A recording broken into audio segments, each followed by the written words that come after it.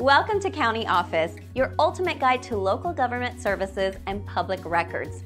Let's get started. What are capital gain distributions? On 1099. In capital gain distributions are payments made by mutual funds or other regulated investment companies to their shareholders. These payments represent the shareholders' portion of the gains from the sale of the fund's investments.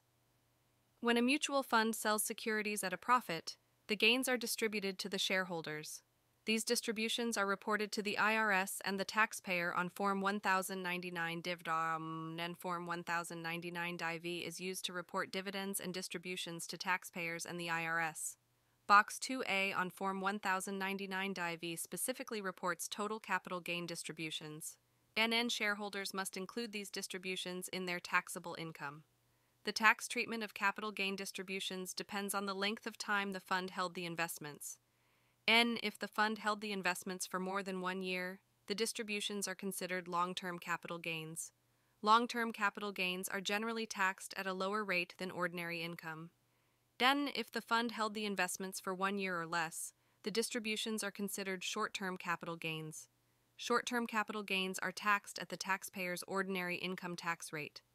NN, it is important to accurately report capital gain distributions on your tax return to avoid penalties.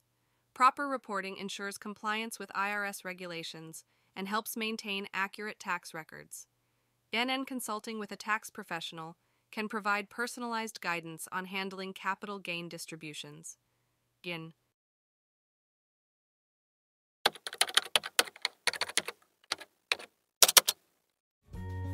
To learn more, check out these links, which you can click in the description below.